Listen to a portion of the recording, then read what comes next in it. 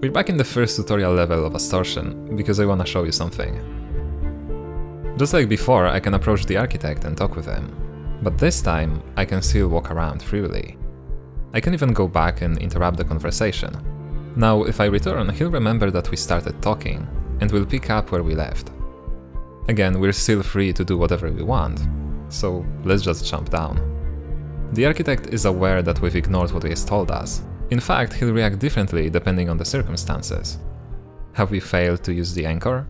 Forgot to activate it? Or just immediately jumped straight down? And this continues throughout the entire tutorial. For example, he'll say different things if we finish it with or without his help.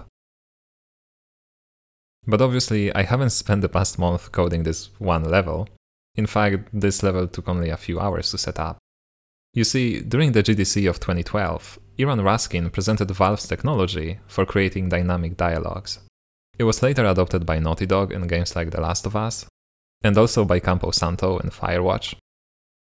And this is Typewriter, my own implementation of said technology that I used to create this level. Okay, so how does it work?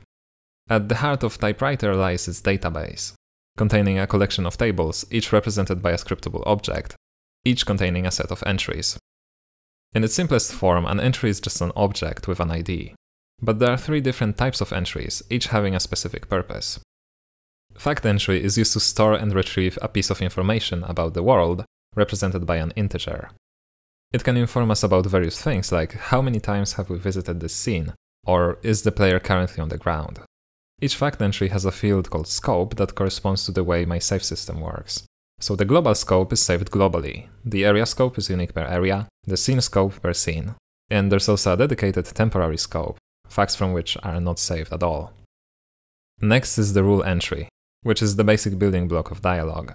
Among other things, it defines what event it listens to, what event it triggers, what should happen if this rule is chosen, and most importantly, what criteria need to be met for it to be chosen.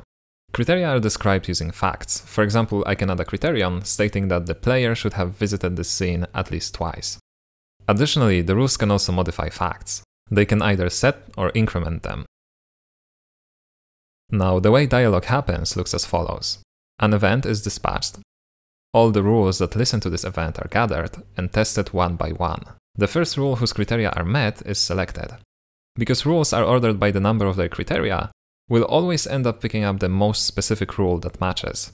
This rule then does whatever it wants, for example displays a dialogue, and once it's finished, it triggers the next event and the cycle continues. One thing I struggled with was how to identify an event. I didn't want to use strings, but other options like creating a scriptable object per event also didn't seem plausible. This is where the event entry comes in. It's a basic entry whose purpose is to identify an event. So instead of using strings, I'm using IDs of entries. Just like fact entries, they also contain a human readable key that allows me to easily search for them and understand what they mean. Okay, now that you know the theory behind typewriter, let's see it in action. So a dialogue can be triggered in a few different ways. One of them is an interaction handle. Here we can see that it will trigger the onTalk event, Fun fact, from time to time the handle checks the database to see if this event will trigger any dialogue. So if I open this event and add a criterion that's not currently met, the handle will disappear. Anyway, let's start talking. The onTalk event now says 1. This is because under the hood, events and rules are treated as facts, and their value represents how many times they've been triggered.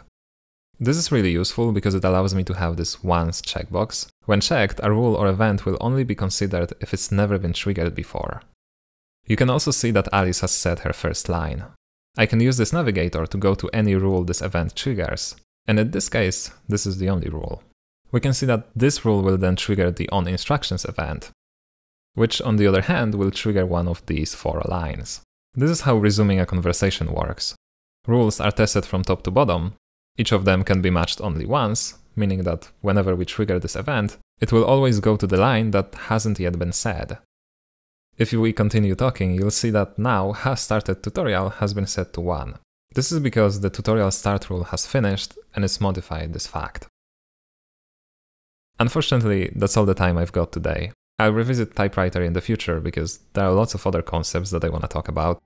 like actually displaying the dialogues, keeping track of the speakers in the scene, and making sure that the important conversations are never cancelled. But anyway, thanks so much to all my patrons, thanks for watching, and till the next time.